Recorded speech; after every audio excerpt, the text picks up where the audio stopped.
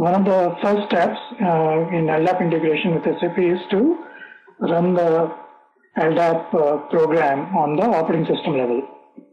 To run the LDAP program into operating on the operating system level, you uh, go to the operating system and uh, switch to the exe uh, directory of the SAP.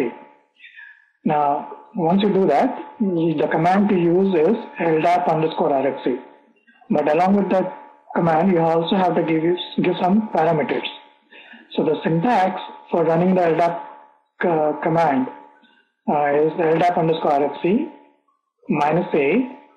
Then you give the registered program name. In our case is ldap underscore hgs test. Uh, you could give the name that is appropriate to your environment. Then give the register program name and then minus G.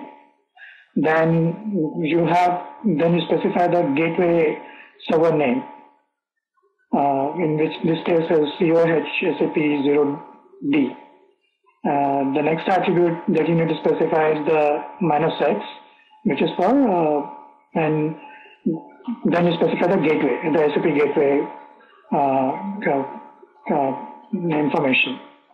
Now with that SAP GW with the system ID, now whatever your system ID is. Once that is done, you hit the enter key.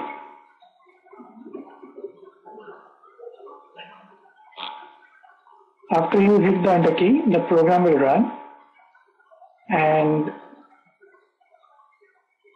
you get to the command prompt again. So to see whether the program is running or not, you can use the ps command with grep and check for LDAP. Uh, the mistake that we made is if you want to keep this program running, you need to add an ampersand at the end of your command.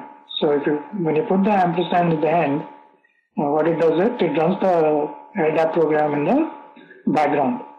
So let's do the ps command again, and you can see the program uh, is running in the background now. So this is a this is a, one of the prerequisites uh, doing the SAP to LDAP integration to run this LDAP underscore RFC command. The next step in the process would be to create an RFC connection between the LDAP system and the SAP system.